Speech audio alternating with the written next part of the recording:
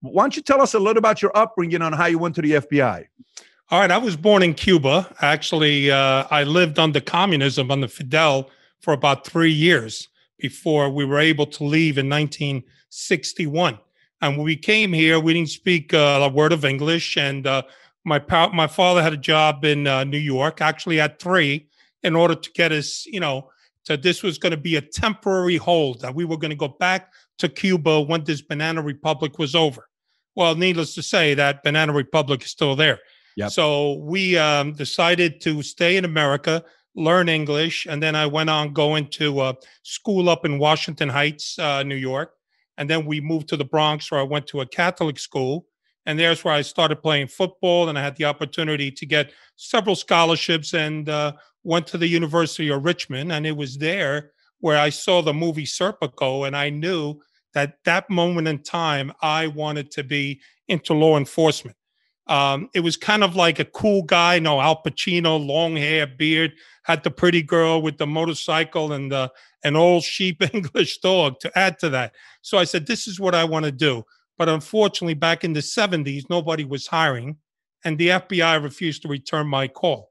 So what happened in 1976 or so, or the end of 75, I was watching Univision, and I saw this uh, American non native Spanish speaking FBI agent saying they were looking for Spanish speakers in the Bureau.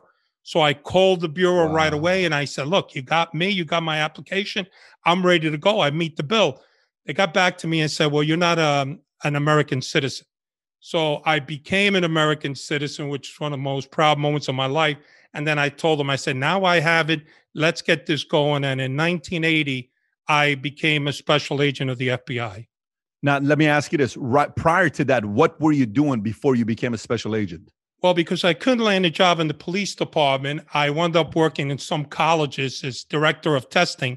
Then I got involved. I actually got into the police department at Union County Prosecutor's Office, but it was short lived. I was only there about a year. And then the FBI came calling. And of course, the rest is uh, I, the dream of my life job. I love it. I love the fact that it is the dream of your life job. Now, uh, uh, Jack, if I was in high school with you, who were you in high school? If we are in 10th grade, 11th grade, who, who was Jack Falcone? Well, at first, Jack, Jack Falcone was, was always, uh, he's always a jovial guy. You know, I break balls. I, I, I like hanging around with a bunch of the guys, have fun. I played sports. Uh, I didn't have a weight issue like I developed later in my bureau career. So I, I'm always an outgoing social person. So I, I, was not a bully, but I actually protected those who bully, you know, that were bullied, and uh, um, and that was the kind of guy. People kind of gravitated to me because of my size. I was this big Mama Luke, six four. Back then, I was around 240, 250. And, you know, it was uh, some kind of guy that people gravitate to. Makes sense. So you bullied bullies, is what you did. That is correct. Okay. And that that apparently didn't change for the rest of your life. You enjoyed bullying bullies. Well, yeah, I guess yeah. So you're right. Interesting. Okay, so now you go you go into the FBI. You got your dream job. You're excited about it. At what point do you get some of these assignments that leads you to working with the mob? How soon did you get a big assignment? Well, keep in mind that Hoover died in the in 72. So the bureau did not really mirror the demographics in our society. So here I come in this kid who speaks Spanish fluently. The kid doesn't look like an FBI agent. I didn't look your typical guy or dressed alike. I grew up in Havana. I was grew up in Washington Heights and the Bronx. So I had a little something with it. And right around that time, the FBI got involved in working narcotics, which was the early 80s. So I was the perfect guy. Here I am. I speak Spanish fluently. I know the streets. I'm able to, I'm a social person.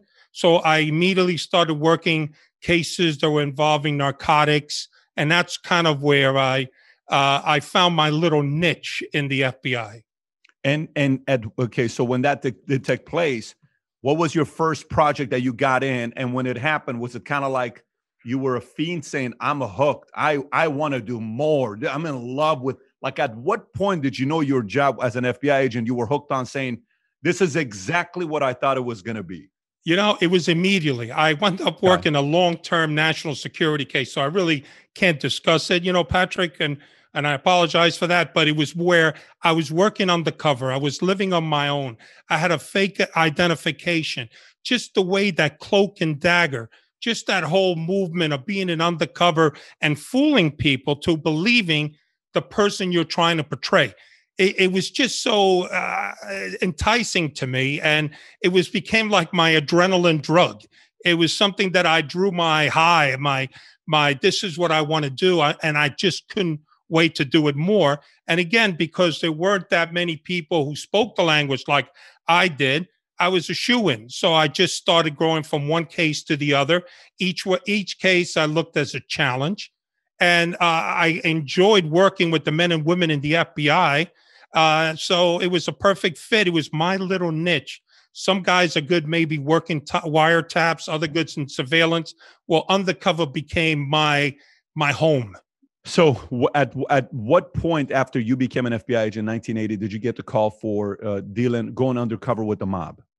Well, how many years later? Oh, it was back. The first time I got the call was in the year 2000, 2001, because again, all my expertise was working narcotics, either posing as a drug t- dealer, a transporter, a money launderer. Then I started doing police corruption cases, murder for hires, Asian organized crime. So I was all over the map. I never worked traditional organized crime.